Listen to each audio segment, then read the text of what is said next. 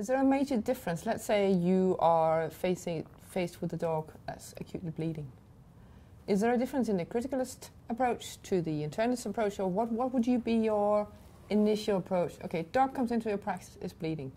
I don't think that there's a difference in No. terms of anyone's training. So I think when faced with an acutely bleeding patient, the most important thing, obviously, is maintain enough blood in the body to deliver oxygen to the cells. That's mm-hmm. the cornerstone of therapy for any disease. It's especially important with a severely anemic or bleeding patient because it's the red cells that carry the oxygen. Mm-hmm. So the, the goal stop the bleeding. I think a good starting point, uh, and this obviously goes without saying, that nothing is more important than a really thorough physical and history. So we start there always. Nothing is more important than that. No. Beyond that, though, uh, often our patients, um, in order for us to help them, we have to get data.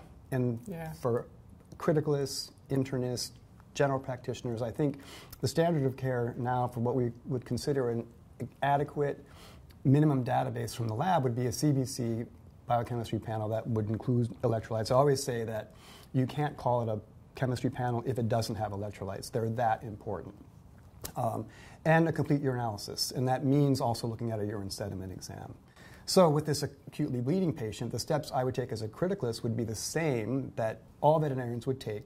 Stop active hemorrhage if you can, stabilize by getting intravenous access and providing fluid support, blood pressure support, giving blood products, transfusions if necessary, and then getting this minimum database. And that's the initial assessment.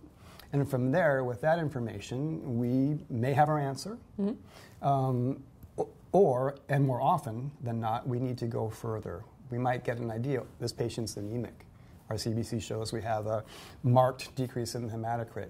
Then we would need to determine is it regenerative or not by looking at, at the reticulocyte count and deciding if we needed to get imaging done. If it's a trauma patient, is there a splenic laceration with an abdominal hemorrhage or is, are there spherocytes on the peripheral blood smear that would indicate uh, hemolytic anemia process? Do we need to pursue causes of that?